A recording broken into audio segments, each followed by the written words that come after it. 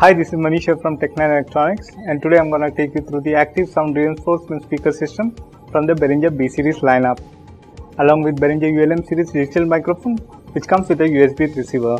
To begin with, the Behringer B series is a power pack system ranging in 8, 10, 12 and 15 inch long excursion drivers for deep bass and acoustic cover. The units are powered by Class D amplification which gives you an output of 200 to 1500 watts which can cater small, medium or large size venues with ease.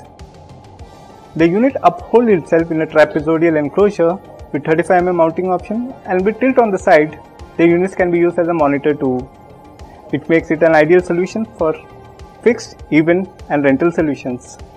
Finally, to add a cherry on the cake, some of the selective units have got an integrated mixer with USB or Bluetooth connectivity, with wireless control connectivity and Behringer ULM series digital mic input.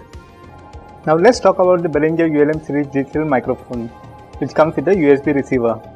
The unit operates on a 2.4 GHz frequency band, which I find is one of the safest protocol in the wireless zone communication environment. The units are compatible with Q or QX series of mixers, Behringer B series loudspeakers and all the portable units from Behringer. The units can be used for recording audio to a Mac or Windows computer directly using the USB port.